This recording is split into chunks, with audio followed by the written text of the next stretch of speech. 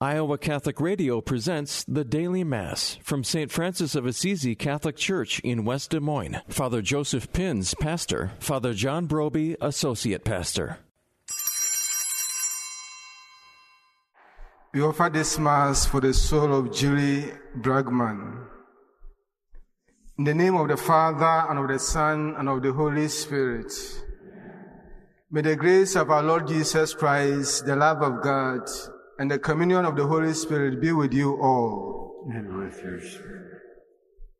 Today we celebrate the memorial of Saint Leo the Great, a pope and a doctor of the church, who stood in defense of the faith and for God. For the occasions that we have failed to stand for God and also defend the faith, let us call to mind and ask God to forgive us.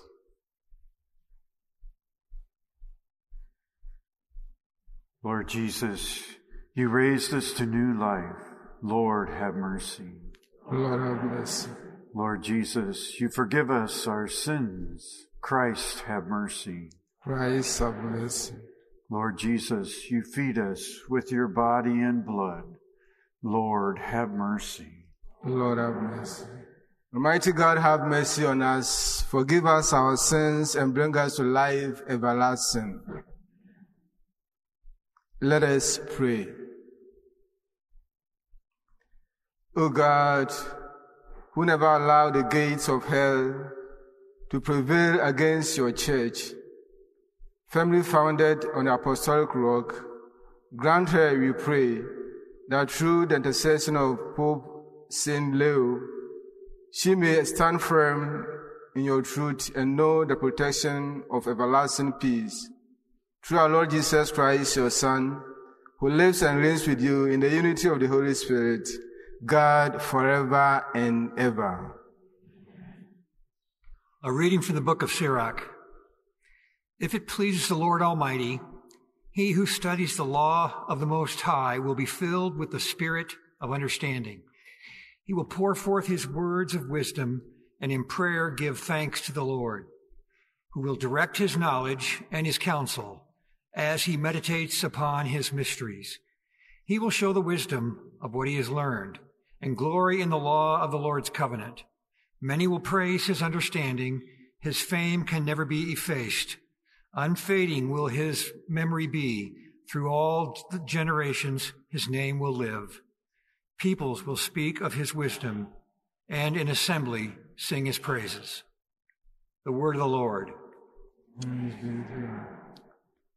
Our response, the mouth of the just murmurs wisdom. The mouth of the just murmurs wisdom.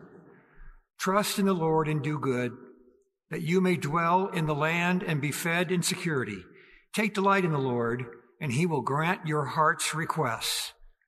The mouth of the just murmurs wisdom. Commit to the Lord your way, trust in him, and he will act. He will make justice dawn for you like the light. Bright as the noonday shall be your vindication. The mouth of the just murmurs wisdom. The mouth of the just man tells of wisdom, and his tongue utters what is right. The law of his God is in his heart, and his steps do not falter. The mouth of the just murmurs wisdom. Alleluia, alleluia. Whoever keeps the word of Christ, the love of God is truly perfected in him. The Lord be with you. A reading from the Holy Gospel according to Luke.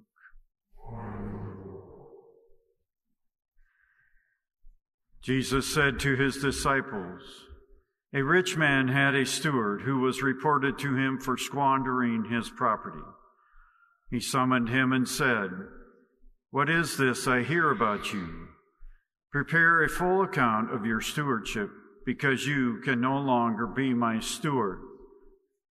The steward said to himself, What shall I do now that my master is taking the position of steward away from me? I am not strong enough to dig and I am ashamed to beg. I know that I know what I shall do. I, sh- I know what I shall do so that when I am removed from the stewardship, they may welcome me into their homes. He called in his master's debtors one by one. To the first he said, How much do you owe my master? He said to him, He replied, One hundred measures of olive oil. He said to him, Here is your promissory note. Sit down and quickly write one for fifty. Then to another he said, And you, how much do you owe? He replied, One hundred measures of wheat. He said to him, Here is your promissory note. Write one for eighty. And the master commended that dishonored steward for acting prudently. For the children of this world are more prudent in dealing with their own generation than the children of light. The Gospel of the Lord. We celebrate today the memorial of Saint Leo the Great, who was a pope, a fearless pope, who defended the church in word and deed. At the time, there were many people who stood against the church, even church members criticizing the church and attacking most of the doctrines of the church. But this man wrote a lot to correct them, and he also stood against external aggression against the church, mostly from barbarians. And it is said that at one time, when the barbarians came to attack Rome, this pope went out fearlessly to meet the leader of those people, Attila. And this man was a man who never accepted anything, but when he met the Pope, they said that he showed a great respect to the Pope. And he made a peace treaty with him. And later, the man said that when he met the Pope, he saw great, two great figures behind him, and he was speaking to the Pope. And he said that God sent his angels and saints to protect this man so that he can always stand and defend the church. That is what happens to you when you stand for God, when you stand for the truth. God never abandons you when you are doing his work, when you stand for him. So the life of this man is an encouragement for us to always to stand for God, stand for the church, stand for the truth, knowing that God will never abandon us. In the gospel reading of today, we hear about Jesus' parable about a rich man who had one of his stewards who decided to sack this steward, dismiss him because he was not taking good care of his property. But this steward sat down and decided what to do. We heard that he made another arrangement with the debtors of his master that they should pay something less. And Jesus was praising this man. In fact, the, the emphasis of this story is not about the dishonesty of the steward. When we read parables, the parables, the figures in the parables do not matter. What matters is the story. They contribute to form a story. So the story is about the determination of those people who, or the determination of people to get what they want, to prepare for their future. So the emphasis of Jesus praising the steward is in the fact that this steward prepared for his future. That's why he said, people in the dark know how to prepare for themselves more than the people of light. So he, when he, he, saw that he was going to be dismissed, he prepared for his future. So when he had no work to do, you know what to do. He had something to lie on. Most of us prepare for our future. For our retirement, we contribute so that when we go on retirement, we shall have something to live on. Winter is about to come. We're preparing for winter. So at a time, we shall have clothing, we shall have, we shall have what we need. How much more do we prepare for the eternal kingdom? As Christians, we are aiming at heaven. Jesus' point is that how are you prepared, preparing to go to heaven? Are you determined enough to look for things that will help you get to heaven? This young man in the parable prepared for his future. What are you doing? Are you preparing for a future? Are you determined enough to spend a lot so that you can get to eternal kingdom? That is the emphasis of the story. So Jesus is praising him for preparing for his future. And he's advising us as Christians we prepare to do all that we can to have heaven. Never let anything stand between you and heaven. Whatever you, you have to use to prepare for heaven, you must do that because that is our aim. Our aim in this world is to go to heaven. So make a good determination that you want to be in heaven. Spend all that you have. Use all that you have to acquire heaven. That will be your crown. Let us stand and present our petitions before our loving God. For the church, may God grant her wisdom in discerning how to use the gifts he gives her. Let us pray to the Lord. For civic leaders, may they have the dignity for life from conception till natural death. Let us pray to the Lord. For all in want of food, shelter, or friendship, may God in his great mercy give them what they need. Let us pray to the Lord. For all innocent people in the Middle East harmed by violence or instability, may God's grace sustain and strengthen them and keep them from harm. Let us pray to the Lord. For all of us here, may the power of the Spirit of God enable us to proclaim the gospel as faithful ministers of Christ. Let us pray to the Lord. For Julie and for all who have died, may God grant them eternal rest and peace in heaven. Let us pray to the Lord. And for all those prayers that are in the depths of our hearts.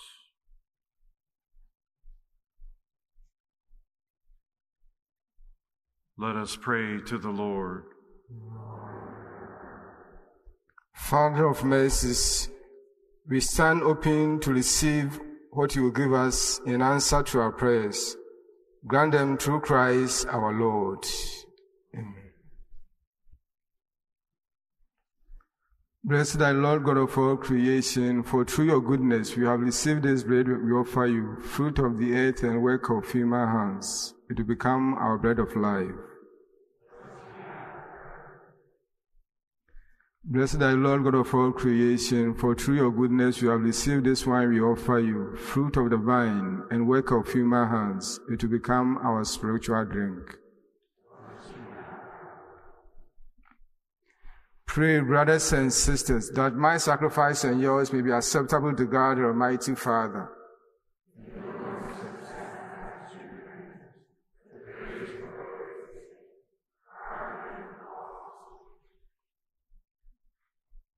Through the offering made here, we pray, O Lord, graciously shed light on your church, so that your flock may everywhere prosper, and that under your governance the shepherds may become pleasing to your name, through Christ our Lord. The Lord be with you. Lift up your hearts. Let us give thanks to the Lord our God. It is true, right, and just, our duty and salvation, always and everywhere to give you thanks. Lord, Holy Father, Almighty and Eternal God, through Christ our Lord. For as on the festival of St. Leo, you bid your church rejoice, so too you strengthen her by the example of his holy life. Teach her by his works of preaching and keep her safe in answer to his prayers. And so, with the company of the angels and saints, we sing the hymn of your praise, as without end we acclaim. Holy, holy, holy Lord. Heaven and earth are full of your glory. Hosanna in the highest. Blessed is he who comes in the name of the Lord. Hosanna in the highest. You are indeed holy, O Lord, and the fount of all holiness. Make holy, therefore, this gift, we pray, by sending down your Spirit upon like the dewfall, so that it become for us the body and blood of our Lord Jesus Christ.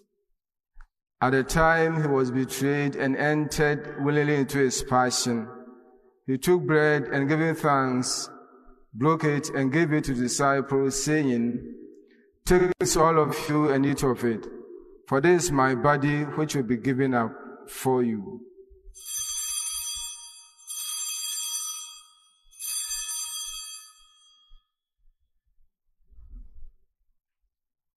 In a similar way, when supper was ended, he took the chalice, and once more giving thanks, he gave it to the disciples, saying, Take this, all of you, and drink from it.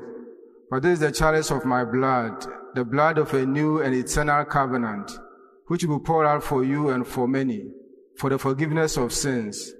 Do this in memory of me.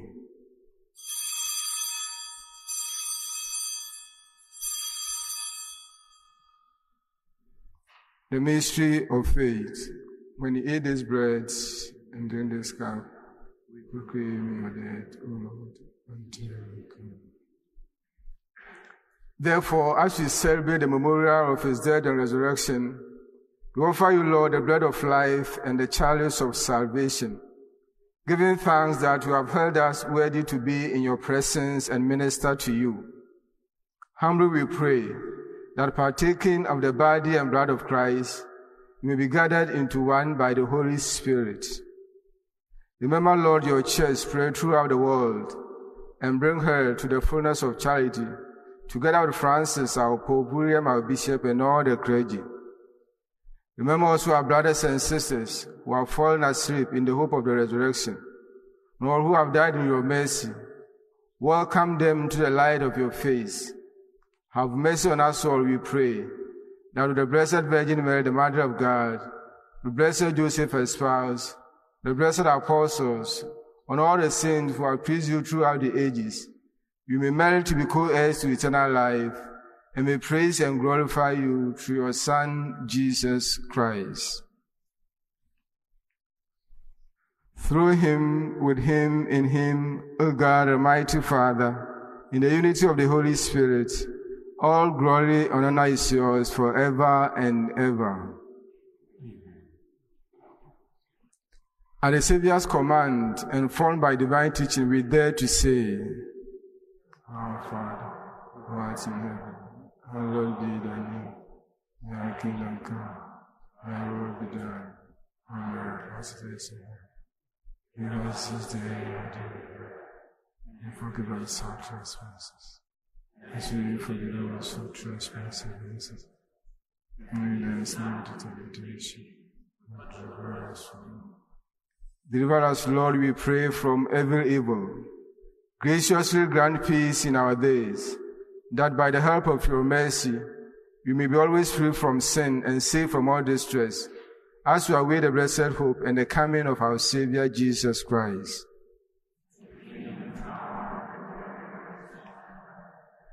Lord Jesus Christ, who said to your apostles, Peace I leave you, my peace I give you.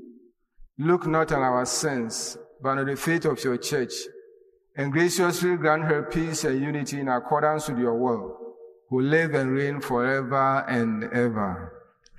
May the peace of the Lord be with you always. And with yours. Let us offer each other a sign of peace.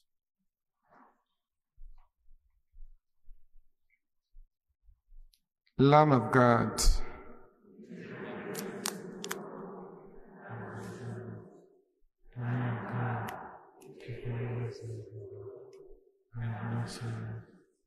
Lamb of God, take away the sins of world.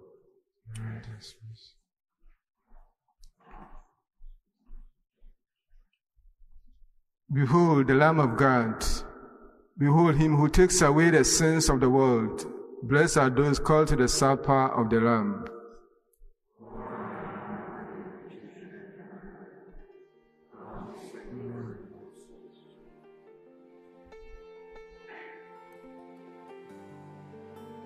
My Jesus, I believe that you are present in the most blessed sacrament. I love you above all things, and I desire to receive you into my soul. Since I cannot now receive you sacramentally, come at least spiritually into my heart. I embrace you as if you were already there, and unite myself wholly to you. Never permit me to be separated from you. Amen.